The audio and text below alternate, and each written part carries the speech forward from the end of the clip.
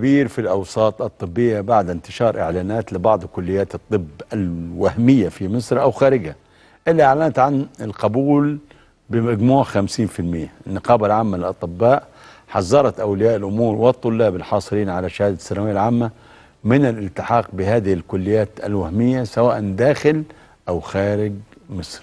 وشددت على أن النقابة لن تعترف بخريجي هذه الكليات ولن تقبل قيدهم بسجلات هذه آه، الكليات.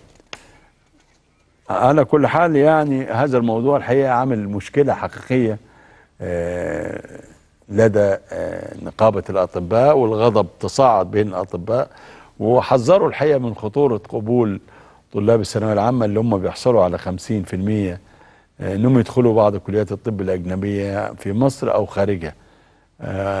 وأعتقد إن ده بيتم في عدد من دول شرق أوروبا وده بيخالف الحقيقة مبادئ تكافؤ الفرص والمواد المؤهلة للقبول بكليات الطب. على كل حال مع معنا الدكتور خالد أمين الأمين العام المساعد لنقابة الأطباء. دكتور مساء الخير. النقابة لها موقفها الحاسم آه، الحقيقة مما ينشر من أن هناك كليات للطب تقبل بنسبة 50% آه، أريد أن أسألك عن الإجراءات اللي اتخذتها نقابة الأطباء حتى الآن للحيلولة ومنع آه، هذا الالتحاق أو الحصول على مؤهل من إحدى كليات الطب وهو لم يحصل إلا على أكثر من 50% في الثانوية العامة دكتور خالد دكتور أيوة. خالد معايا أهلا بيك يا فندم. أهلا بيك. بسألك عن الإجراءات التي ستتخذها نقابة الأطباء في مواجهة مسألة ال 50% والتحاق البعض بكليات طب سواء كانت وهمية أو أجنبية. آه الحقيقة إحنا بدأنا ده بإن إحنا آه بنوعي الناس وبنوعي الأهالي بان آه يعني في بعض المكاتب دلوقتي خلينا نقول وان في بعض الإعلانات وفي بعض السماسرة الحقيقة نعم. تتزوج ليه كليات طب وهمية موجودة سواء كان داخل مصر أو خارج مصر. آآ آآ كليات دايما بتبقى عبارة عن كيانات في الحقيقة لا تمتلك نعم. الأدوات التدريبية الحقيقية ولا المناهج ولا تلتزم بمعايير معينة وحاجات وحاجات بالشكل ده.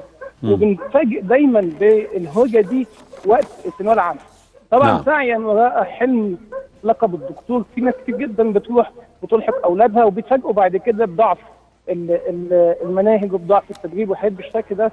ونيجي بعد كده الأولاد دول يتخرجوا ويجوا يقيدوا عندنا في النقابه طبعا ما بنقيدهمش فبنلحق الموضوع من أوله دلوقتي وبنقول للناس خلوا بالكم إن ده مش حقيقي.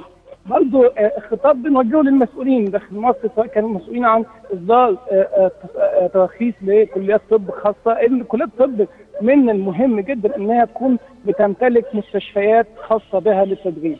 لأن الطب هو دراسة عملية أكثر منه دراسة نظرية. ومهم جدا إن إن الطبيب أو الطالب يتدرب على المناهج العملية وبيشوف مرضى ويشوف حالات ويدخل المستشفى وبالذات دلوقتي إحنا غيرنا نظام الدراسة اللي بقت سنة الامتياز اللي هي سنة التدريب العملي بقت سنتين دلوقتي. فطبعا نعم.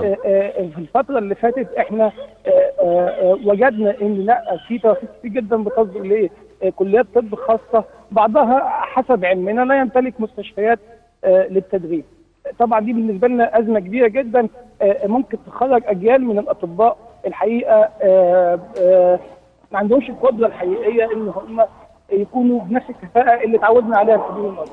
الشيء المهم كمان إن إحنا بنفكر الناس وبنفكر اطبائنا بإن إحنا عندنا جمعية عمومية في 2019 طلعت قرارات بإن إحنا مش هنقدر إن إحنا نقيد أطباء في سجلات الأطباء في النقابه عندنا إذا كانوا لم يقوموا بدراسة المواد المؤهلة في الثانوية العامة زي مواد الكيمياء والأحياء والحاجات دي ولا حصلوا على مجاميع أكثر من 5% من كل الحدود الدنيا اللي تعلن عنها الحكومة المصرية للقبول بكليات الطب الحكومية. ده قرار صدر في 2019 نعم. وجامعتنا العمومية هي الحقيقة هي اللي بتوجهنا نتحرك إزاي وتلزمنا بضوابط معينة عشان خاطر إن يكون عندنا ضوابط للمهنة والقيد بسجلات نقابه الاطباء. شكرا لك دكتور خالد أمين الأمين عام مساعد لنقابة الأطباء في مصر